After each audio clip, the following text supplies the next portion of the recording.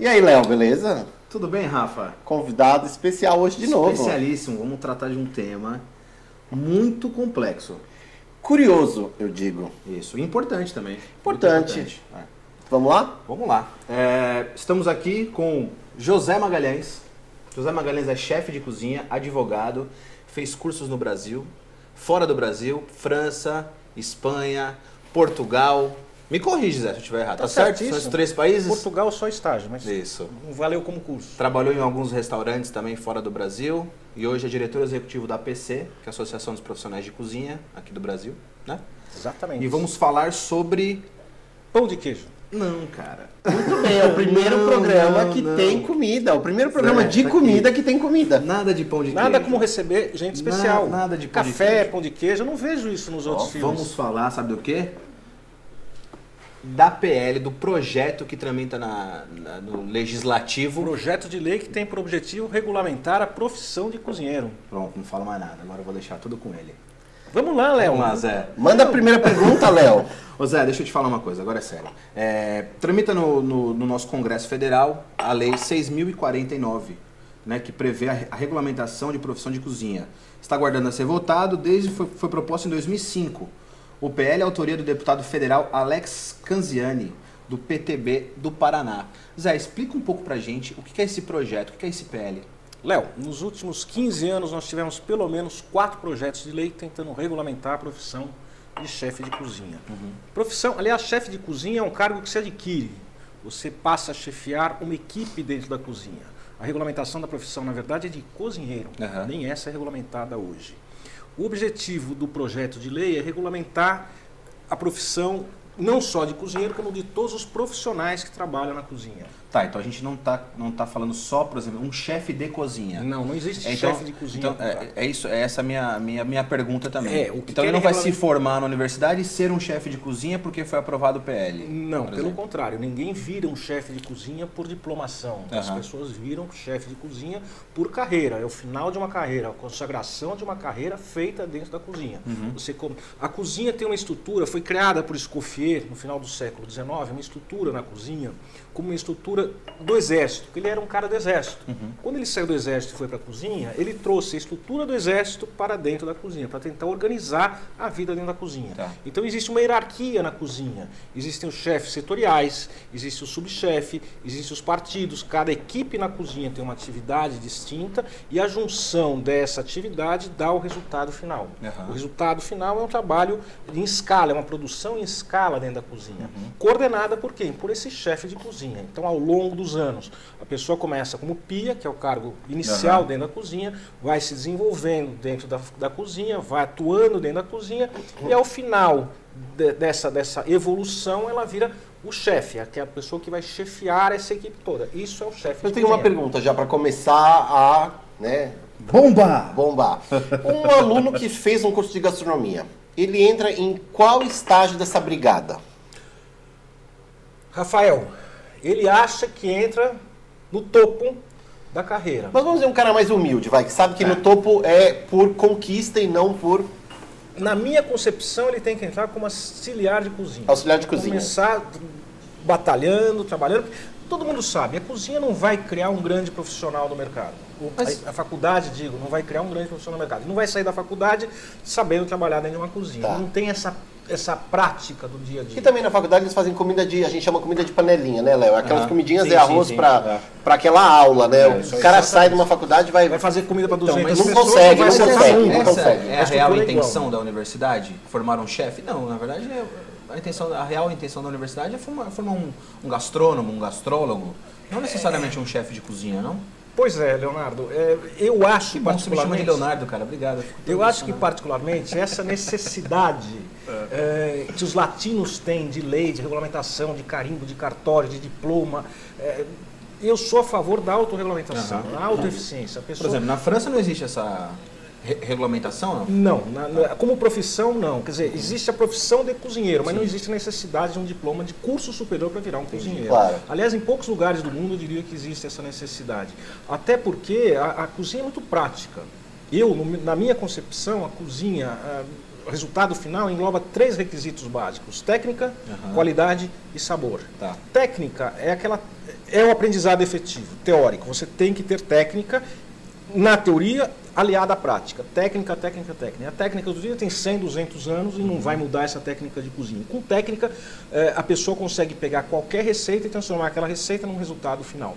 Qualidade. Qualidade do quê? Da cozinha, do da, da- matéria-prima, dos ingredientes, de tudo. Isso é Qualidade feeling, né, Zé? A gente vai adquirindo isso é, o tempo, mas qualidade é tudo. Qualidade é desde a estrutura da cozinha até a qualidade dos, efetivamente dos produtos Tá. e tudo mais. E sabor. Não adianta você ter técnica e qualidade sem sabor, não adianta você ter sabor sem a técnica e qualidade. Eu acho que existe aí uma junção dos três elementos. Você vai me falar, ah, mas fulano faz uma cozinha, uma comida maravilhosa. Pode até fazer, mas é intuitivo. É aquele cara, aquela comida, aquele prato, é uma coisa bem pontual. Uhum.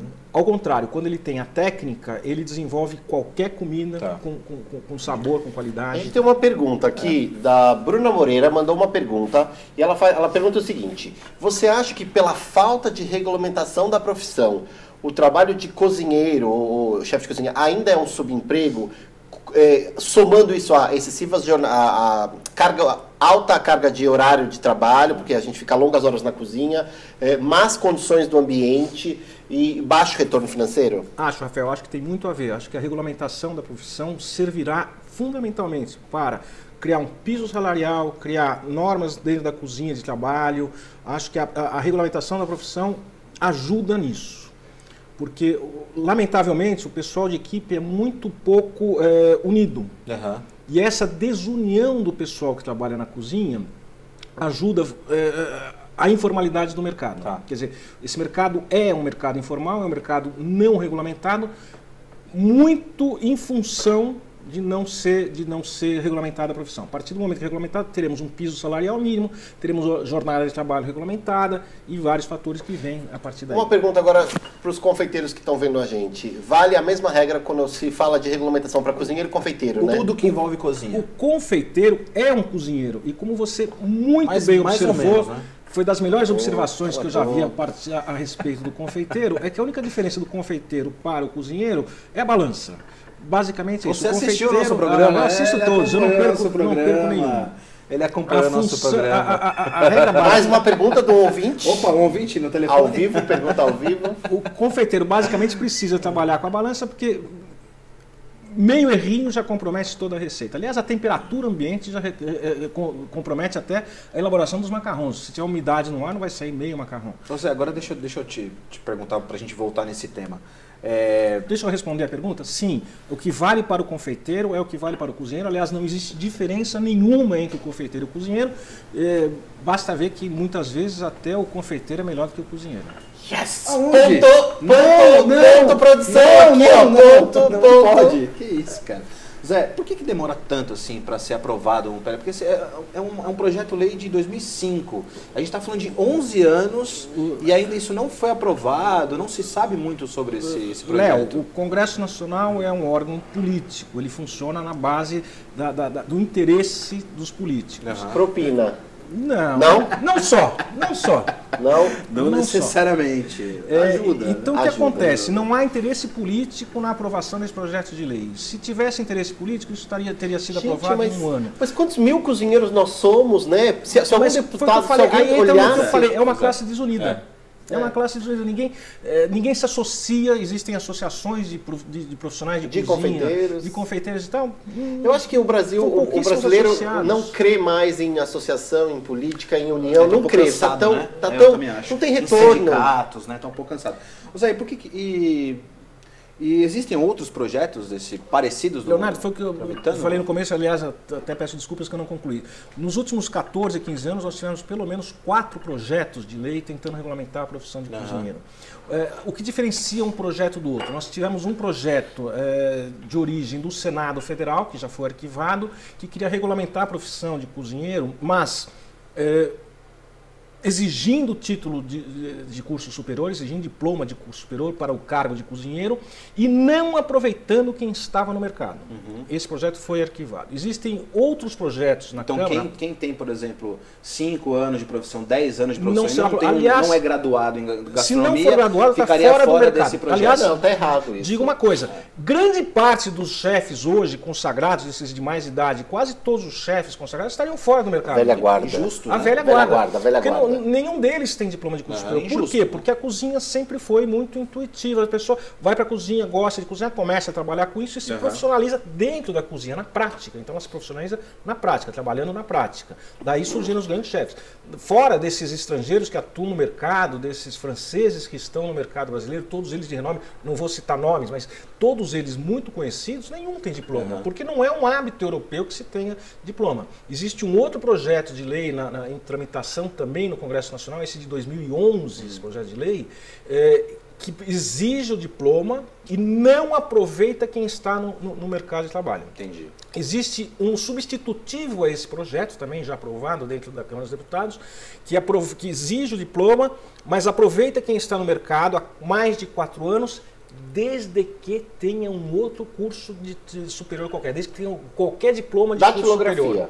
Se tiver curso superior de datilografia, vale. E, e, na sua opinião, assim, a gente quer ouvir a sua opinião. O que, que, você acha? Quais são os prós e os contras desse projeto e quais são os maiores interessados nisso? Pois é, esse projeto 6049, hum. que é o que está mais adiantado, me parece que é o, é o que tem mais condição de, de tá. aprovação hoje no Congresso, não é, é mais garantia. Realista. É o mais realista, não é uma garantia. Veja, nós podemos ter é, um projeto mais novo, aprovado em detrimento do mais antigo. Tá. Não tem lógica nenhuma, uhum. não tem nenhuma precedência em relação a um tá. ou outro.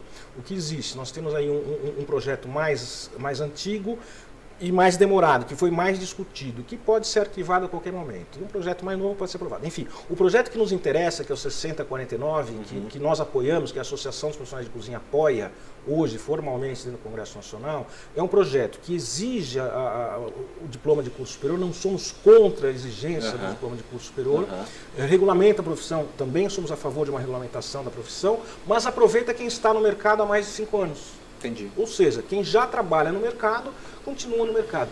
E aliás, isso, só, só um minutinho, isso é uma, é, uma, é uma velha concepção em todas as profissões. Desde a medicina, direito, todas as profissões que não eram regulamentadas no passado e que passaram a ser, em determinado momento histórico, regulamentadas, é. aproveitaram quem já estava no mercado. Sim. Não vejo motivo para a cozinha fazer diferente. Mas mesmo porque, se for pedir para quem está no mercado e cursar uma faculdade, em função dos baixos salários que a gente tem hoje, essas pessoas não conseguiriam cursar um curso hum, superior. Não é. conseguiriam. Porque os cursos são caros. Não conseguiriam. Eu já vou emendar uma, uma outra pergunta, então, da Raíssa Machado, que fez para a gente via internet ela perguntou o seguinte, sobre a, a regulamentação de doces de encomenda feito no, no, no, domicílio, em casa, isso teria algum tipo de controle, não? Isso tem controle já das, das, das da necessidade de registro desses doces. Uhum. Qualquer comercialização de comida está sujeita a um registro específico. Tá, mesmo Inclusive, feito em casa? Mesmo feito em casa. Faz, faz em casa o bolo? Aquele selinho de validade, de, de, uhum. de fabricação, ingredientes, uhum. nutrições e tudo mais, isso é obrigatório em qualquer comida comercializada. Uhum. Então, o, o que, que acontece? Eu dentro de casa monto uma cozinha experimental, preciso preciso sim da autorização da Anvisa para uhum. trabalhar nessa cozinha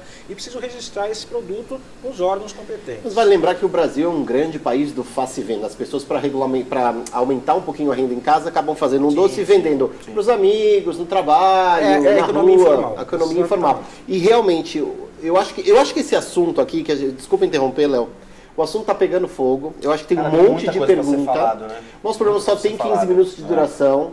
Esse daqui a gente vai ter que encerrar, porque o nosso tempo está esgotando, é. mas a gente vai ter a parte 2. Vamos fazer uma parte 2 com o Zé, eu acho, porque eu acho, acho válido. A gente está num. Pode a ser, gente Zé. continua no papo aqui.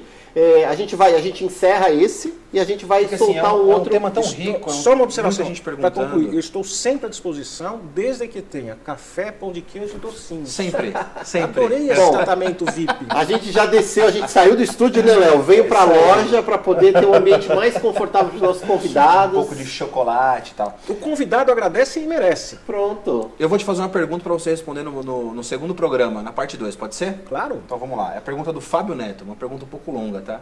Para ver se você vai lembrar é, com a regulamentação é, e é, ser obrigado esse centro de informações, que precisam ter alguns centros de informações, o registro de conselho e todas as obrigações legais que a situação impõe.